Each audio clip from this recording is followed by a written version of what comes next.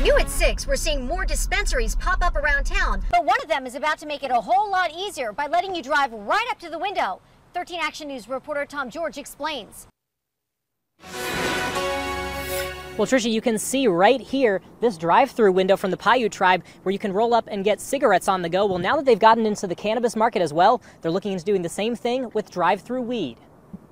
There's a new kid on the block. Nuwu. Nuwu means the people in Southern Paiute language. Nuwu Cannabis is nestled on a parcel of tribal land downtown. Even the tribe's chairman never thought they'd get into the weed business. Oh man, the tribe's gonna sell weed, you know?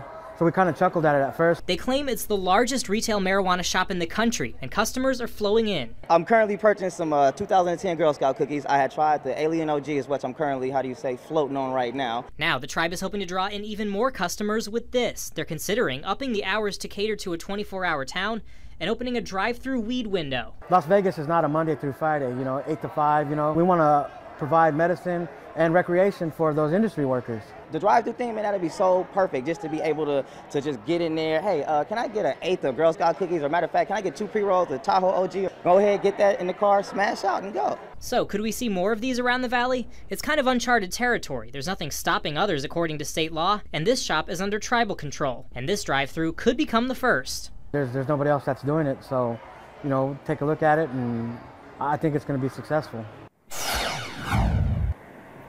Now, this isn't the only thing that Nuwu is doing to make things easier for their customers. They say they keep an entire list of their in, uh, inventory online, so that way if you see it online, you can pick it up right here. Reporting live, Tom George, 13 Action News.